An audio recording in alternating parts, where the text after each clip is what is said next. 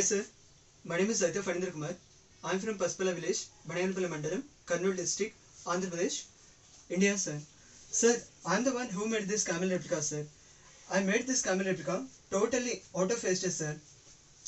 Sir, while I am making this uh, camel replica, I concentrated on each and every part of camel replica sir. While I am making, while I am making hooves, slightly curved legs, tail, while making body part, hump, and while making neck, uh, head, total. I concentrated on each and every part of uh, uh, while making. I concentrated, sir, to do perfectly.